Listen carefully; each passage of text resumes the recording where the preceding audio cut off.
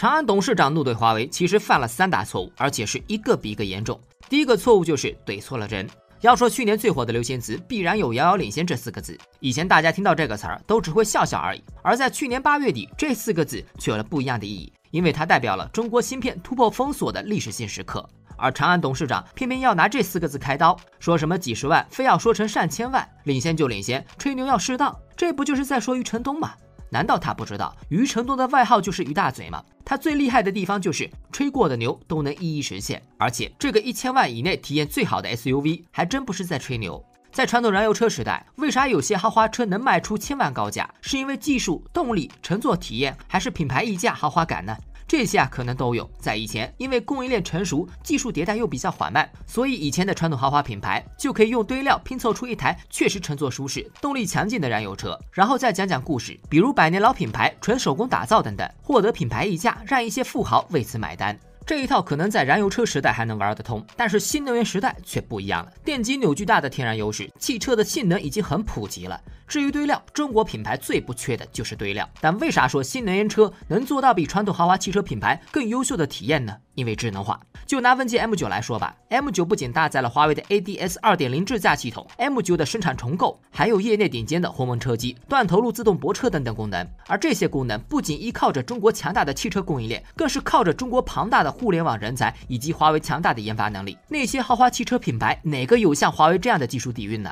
甚至可以说啊，就凭 M9 现在的完成度，换个标，起码后面能再加个零。要吹牛不是不行，最关键的是你能不能把吹过的牛实现，才是最紧要的。第二点错误是长安背叛了车主。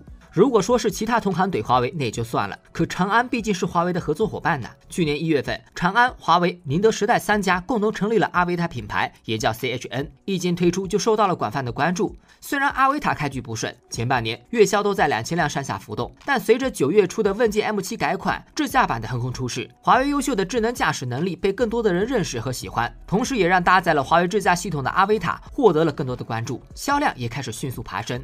去年八月份时，阿维塔的销量还只有两千辆不到，而到了九月份时，销量就超过了三千辆。十二月份时，月销更是达到了六千多辆。阿维塔正在被更多的人认识和喜欢，而这里华为可以说是首要功臣。长安跟华为两家还在去年十一月份传出会共同组建新公司，展开汽车智能上相关的深入研发，让大家更相信华为与长安是更深入的合作伙伴关系。几乎所有人都在看好这对组合。可结果呢？你扭过头就来这么一怼，这是啥意思？是想告诉市场你俩有矛盾，理念不合？这以后谁还敢去买阿维塔？而那些原先已经买了的，又该怎么办呢？这不是背刺老车主是什么呢？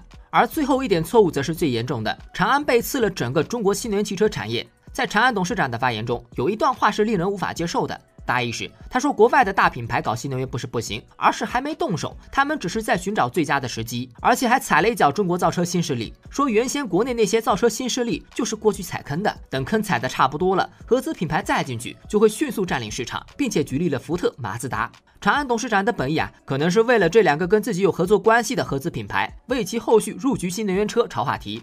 但在这段话中，则是完全忽视了中国汽车产业链为电动化转型所做的努力。我们为什么要发展新能源汽车？不就是为了解决能源危机，发展中国的汽车产业？而在这里面，不管是国家政策，还是广大的造车新势力，莫不如此。从前期的大浪淘沙到中国电动车的领先位置，靠的不都是那些新能源车企踩的坑吗？怎么到你嘴里就变成了毫无意义的呢？